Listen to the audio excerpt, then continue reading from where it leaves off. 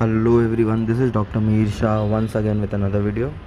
In this video, we are going to learn how to solve problem sum in which they've asked us to find direct quote and also the indirect quote under the subject international finance. So we will be taking up some rules and thereafter, you know, a couple of sums in order to understand how you can identify in which country the quote is direct and how to find the indirect quote.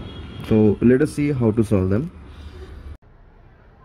Okay, now uh, let us learn how to identify in which country the currency which is given is in direct quote. And once we are able to identify that how to calculate the indirect quote. Okay now very first the formula has been given that the indirect quote is equal to 1 upon the direct quote which whatever the rate they might have been given you okay? Now the question you will get is something like this. Identify the country in which it is a direct quote and for each find the indirect quote in that country.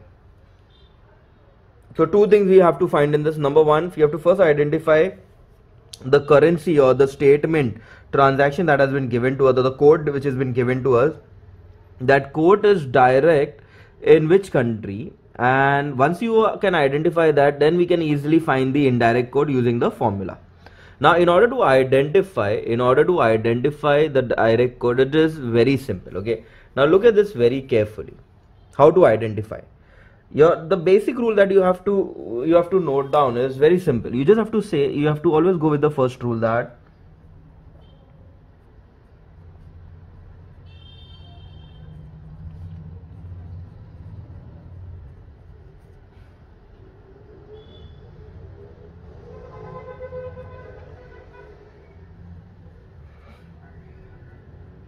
okay. This is the golden rule. Foreign currency is expressed in one unit. Okay meaning whichever quote is been given to you okay the quote in which okay the one unit is being given to us that is basically a foreign currency and the currency exactly opposite to that will be our domestic currency. So now in this question rupee 75.31 is equal to 1 Great Britain pound or 1 GBP. Foreign currency is expressed in unit 1. So in our case, in our case, GBP, you know, was expressed in one unit. So this is our foreign currency. So rupees which is given will become our domestic currency or we can call it as home currency so in which country it is a direct quote? That's why I can say that therefore this quote which has been given to us, it is direct quote in India. That's the very first thing. Once we have found that, now we can find the second part. So this is my first part of the sum. Now second, we need to find the indirect quote. So indirect quote is equal to 1 upon direct quote. Okay, which is equal to 1 upon the direct quote was 75.31. So I will divide that.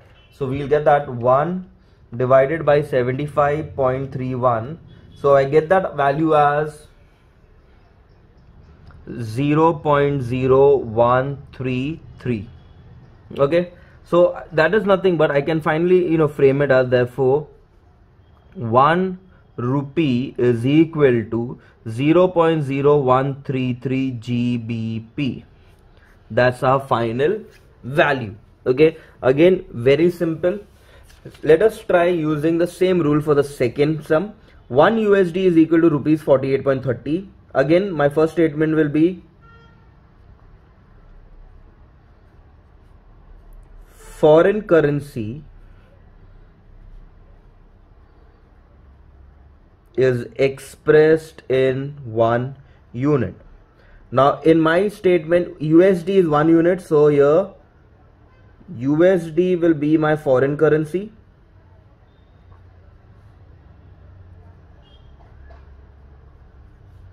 and rupee will become my domestic currency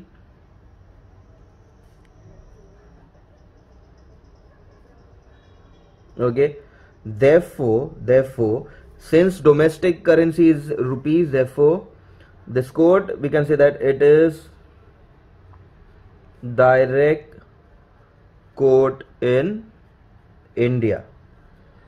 Now once I found that we can now easily find the indirect quote so indirect quote ka formula is 1 upon direct quote so here it will be 1 upon 48.30 so 1 divided by 48.30 we will get the value as 0 0.0207 okay?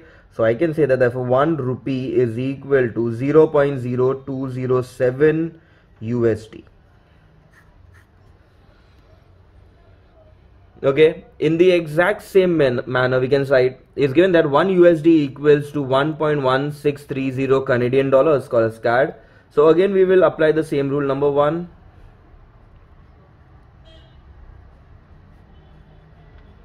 foreign currency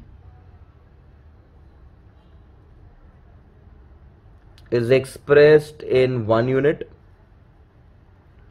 okay so here USD is in one unit so that becomes a foreign currency. Canadian dollar will become the home currency.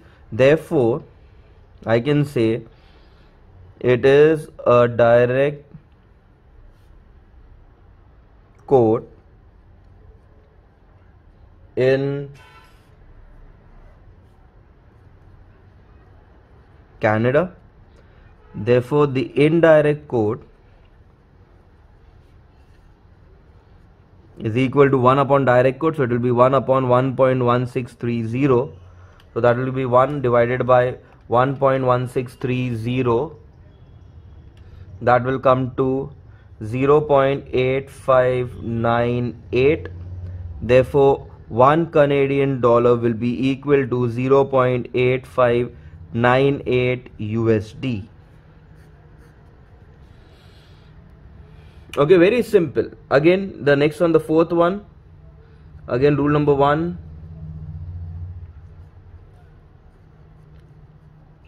Foreign currency is expressed in one unit. Therefore it is a direct quote in. Now GBP is one unit so GBP becomes a foreign currency so dollar or USD will become your domestic. So it is in direct quote in USA second therefore indirect quote will be 1 upon 0 0.639 so 1 divided by 0.639 the value that we get is 1.5649 therefore 1 GBP sorry here we are finding the other way. So it will be 1 USD is equal to 1.549 GBP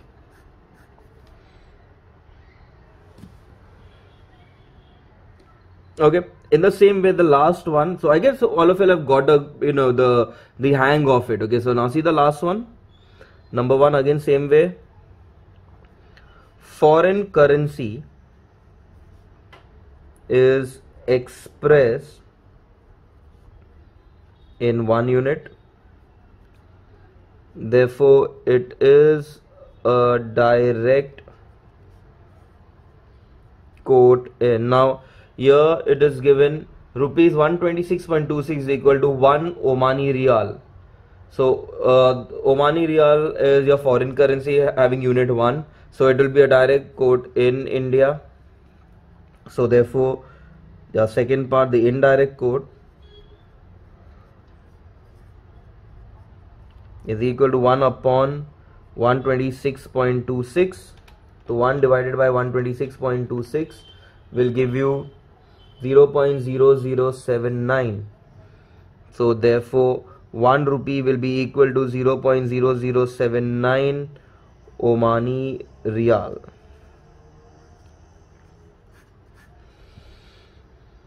Okay, so this is how you all had to solve some where they asked you to find the inverse or, or they asked you to find which country may the the quote is direct and also find the indirect quote. Okay i hope everyone have understood that. With that we will be ending this video. Thank you